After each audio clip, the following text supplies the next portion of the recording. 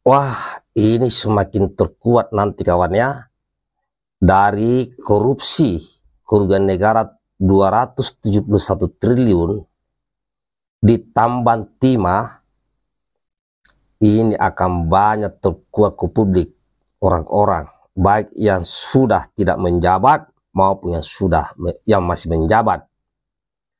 Pantasan kelompok ini sangat tidak senang dengan terpilihnya Pak Prabowo dan Mas Gibran sebagai presiden dan wakil presiden. Karena apa? Pasangan Prabowo Gibran akan melakukan hilirisasi terhadap sumber daya alam. Artinya akan dikelola dalam negeri. Berarti selama puluhan tahun di bidang timah ini, tambang ilegal yang selama ini bahan mentahnya dibuang ke luar negeri ketakutan. Jadi wajar mereka sangat membenci kemenangan Prabowo Gibran Bos. Akan banyak yang terlibat, sekali lagi baik yang sudah tidak menjabat maupun yang masih menjabat. Mereka sekarang ini mulai ketar-ketir.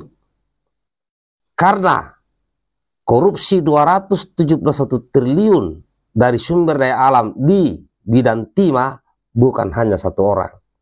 Pasti banyak yang terlibat. Pasti. Yang saya katakan kepada saudaraku, mereka semua adalah pembenci hilirisasi.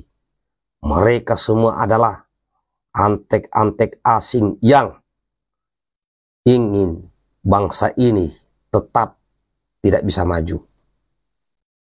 Mereka paling takut hilirisasi ini baru timah bos. Nikel, belum boksit, ini akan banyak terungkap semua yang sudah puluhan tahun sumber daya alam ini dikerok, dibawa ke luar negeri. Ini yang mereka takut.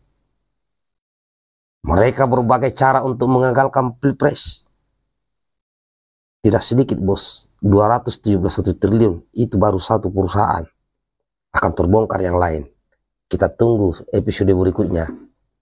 Banyak keterketir. Siapa saja mereka, tunggu tanggal mainnya. Bagikan videonya kawan.